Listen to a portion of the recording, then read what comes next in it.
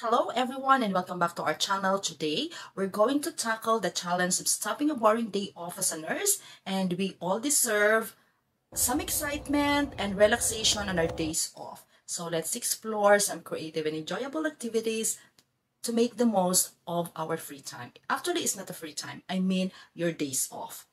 First, let's plan by making a list of activities that interest you.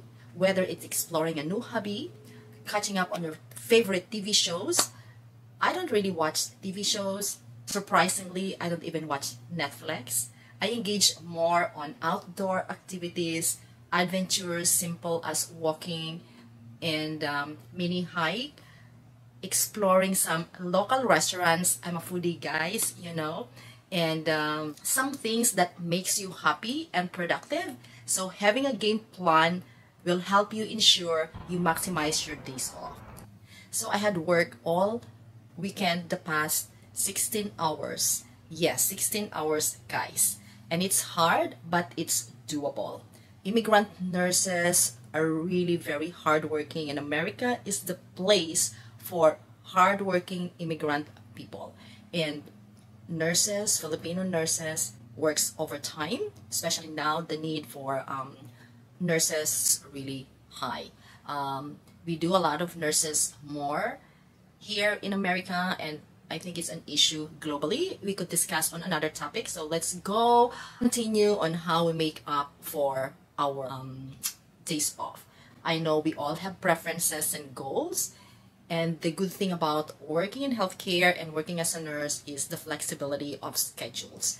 And, you know, thanks God for the strength and the energy. That's why it's important to do your um, hobbies, self-care, so that you will prevent burnout.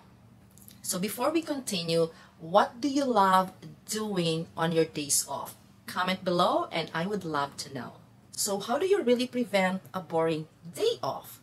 One option is to indulge in some self-care. It doesn't have to be expensive. You don't need to go to the gym and um, just give a little time for yourself to be out there in the nature or a simple five, 10 minutes walk. What works for me is a simple 20 minutes walk around the neighborhood or you could also visit a nearby park in your area because it will help you recharge and rejuvenate both physically and mentally after the demands of the nursing work.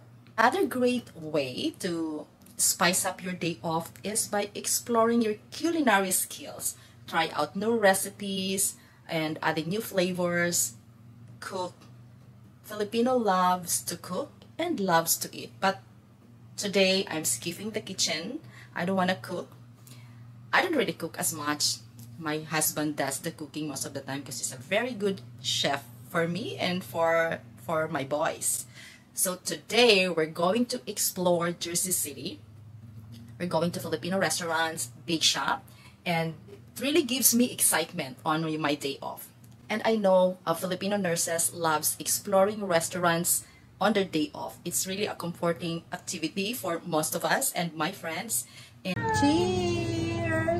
And if you watch my first episode of celebrating Philippine Independence Day, I mentioned we're going to visit Filipino local restaurants to support them. So since we celebrated Philippine Independence Day on June last June 12, so we're visiting Filipino restaurants today.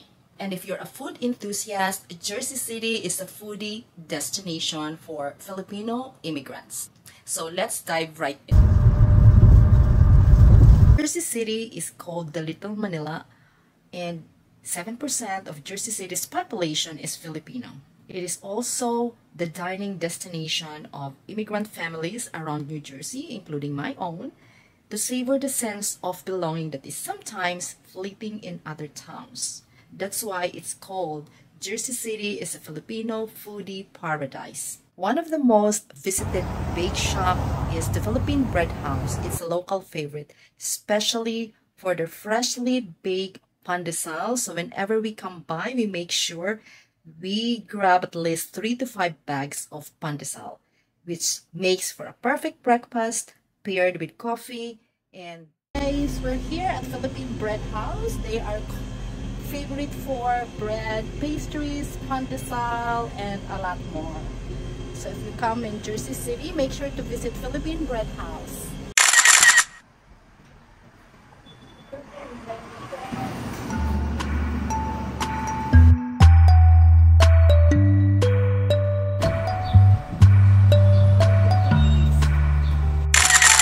And of course, while we're here in Jersey City, might as well drop by Jollibee. Over here in Jollibee, Jersey City, who doesn't love Jollibee? From its sweet style spaghetti and tasty, creamy, yummy chicken, it's all the place to go for delicious fried chicken. So we're here now at Jollibee. Americans do love our famous Chicken Joy for several reasons. Number one, because of un- its unique flavor, Jollibee Chicken Joy has a distinct flavor that sets it apart from other fast food fried chicken options. The chicken is marinated in a special blend of herbs and spices and the savory sauce that comes with it. Number two, it's crispy and juicy texture. It's one of the highlights of Jollibee Chicken Joy. It's its signature crispy skin and juicy meat. And it's unhealthy though, eating the skin, but just be careful. And number three, the food appeal. It's comforting when you eat the Jollibee Chicken Joy. And number four, it's affordable and really it comes in generous portions at an affordable price.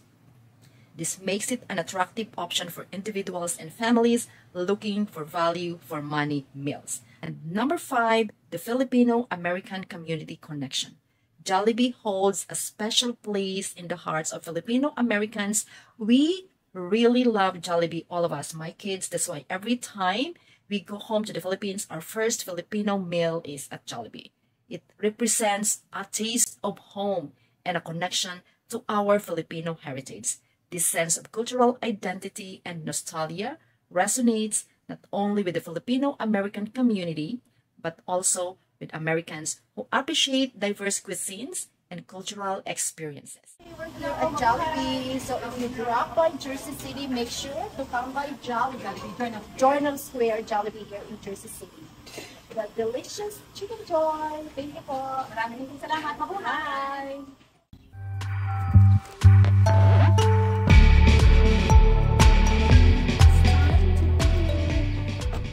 So don't forget to support your local restaurants and Filipino eateries. They are the heart and soul of our community. Check out your neighborhood family-owned Filipino establishments and uh, it's one way to connect with our community and contribute to Filipino local businesses. So there you have it, my simple guide for visiting local restaurants in your area and having your favorite dishes or simple as visiting your favorite restaurant, having your comfort food. Like for me, Jollibee is a comfort food for us and it's the joy of eating your favorite comfort food on your days off. You know, simple joys in life means a lot. Remember, the key is to find activities that brings you joy, relaxation, and taking away from the demands of a regular work, nursing work, mix and match those ideas or, or customize them according to your interests, your passion, and whatever makes you happy and whatever your preferences are. Most importantly, embrace the opportunity to make the most of your well-deserved time off as a nurse. And in the comments below, what do you love doing on your days off? And tell me how you think this works. Thanks for watching and I'll see you next time. Bye!